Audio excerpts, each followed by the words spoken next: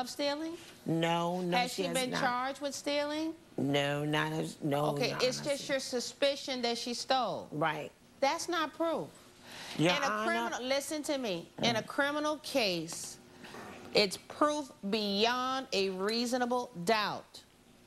Proof of such a high caliber that a jury would convict without hesitation. Okay, I haven't heard that with this camera. Okay, can What's I your finish? next? What's your next Okay, item? It was a digital. No, oh ca- wait, let me ask her. Uh-huh. Did you take the camera? No, I did not. Of course, you're gonna say no. When Judge Karen returns, We're down to that last laptop. It was right by her desk. Okay, And I never saw that laptop she claimed You didn't she had. steal that Never laptop saw it. It was in a bag right there by her desk. You sure you didn't take this stuff because she was owing you money? and in our next case, her father gave her this computer before he died.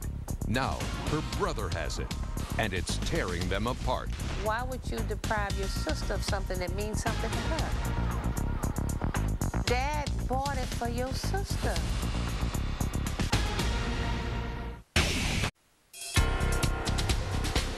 Samantha Campbell is suing her former daycare employer for weeks of pay.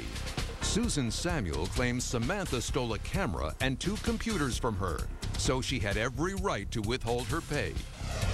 What's your next item that was missing? It was two laptops actually, Okay.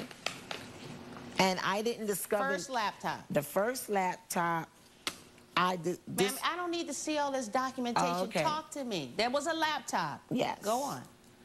I asked. I was in the hospital. I was hospitalized, and I requested for my laptop. When I requested for the laptop to be brought to me in the hospital, I was told that it was not there Okay. By whom?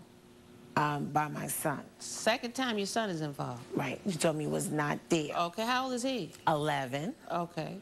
Then I said, What do you mean it's not there? Okay, but do you have any evidence that this lady took your laptop? Any evidence? No, I don't have any evidence. I'm going to scratch off that suspicion. laptop. Now we're down. Suspicion is not enough, ma'am. A lot of people would be serving time in prison if it was just suspicion. Okay, but that's not enough. Third item, we're down to that last laptop. It was right by her desk. Okay, And I never saw that laptop she claimed You she didn't had. steal that Never laptop saw it. It was in a bag right there by her desk. You didn't see it in the bag by your desk? The bag that went by my desk that she's talking of is for the laptop that first went missing. And I It was said to her, both Miss. Samuel, your laptop is not in your bag. When we had to clean and rearrange the office, I said we bought crates. So she said, You you, know, sure you didn't take rearrange this stuff because I she didn't was take- owing you money? No. Maybe somebody else that quit could have taken it? Yes. Okay, the problem is probably doing it. Maybe she doing she did it. Uh, more likely than not, she did it. It's insufficient.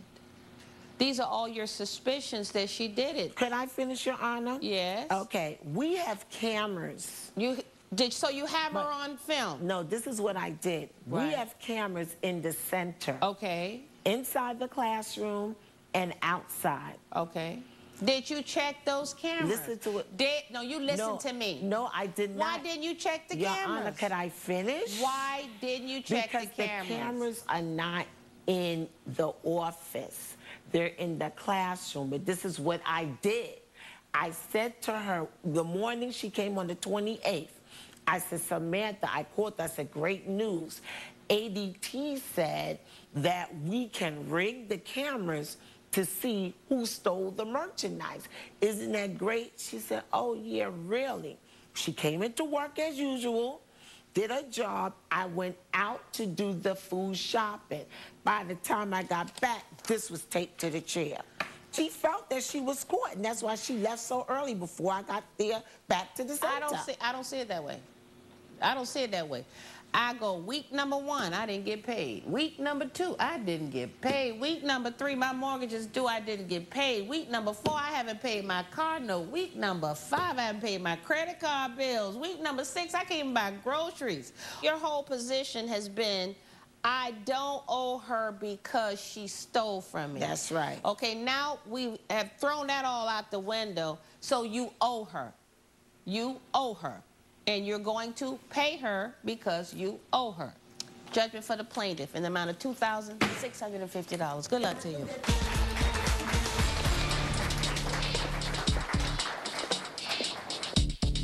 And now, our next case. My name is Mandy and I'm from Virginia. Judge Karen, I have a question for you. I have a live in nanny for the first time, and I want to check up on her and make sure my baby's safe. Can I legally install a hidden camera in my house? That's an important question, Mandy. Some states differ, but generally you can install cameras in your own home. Because your nanny lives there, she does have some expectation of privacy, such as in her bedroom or in her bathroom. But in areas where she cares for your child, you have a right to install cameras to monitor your child's safety. Would suggest that you install a camera for a limited time. And then, if you still don't trust her, you probably don't have the right nanny and you should find someone new. You're sitting on the couch.